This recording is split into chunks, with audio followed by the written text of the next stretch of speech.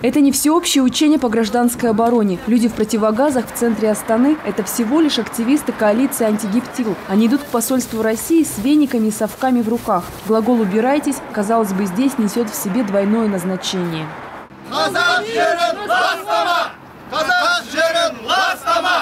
Организаторы акции говорят, что казахстанская сторона пытается решить вопросы, которые связаны с авариями протонов путем переговоров. Но российская сторона, по их мнению, не готова даже слушать.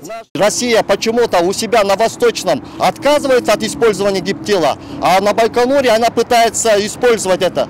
Это что, мы, казахи, подопытные кролики? Общественность до сих пор будоражит информация про то, что будто бы 15 сентября с Байконура взлетит новый ракетоноситель с гиптилом. Активисты требуют прекратить запуски таких ракет с территории Казахстана. Столичные жители сегодня также выражают свою точку зрения. Вообще мы же хозяева, это же наша земля.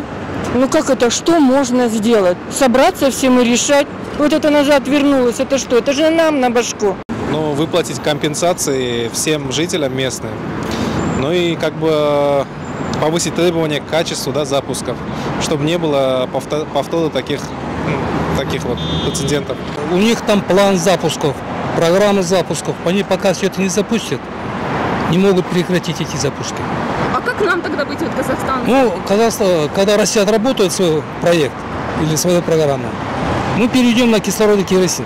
К собравшимся активистам вышли сотрудники российского посольства. Они заявили, что ликвидация последствий аварии проходит строго по плану. Родина Гагариных сделала выводы и даже сожалеет, что все так чрезвычайно произошло. Правда, от ремейков опять же никто не застрахован.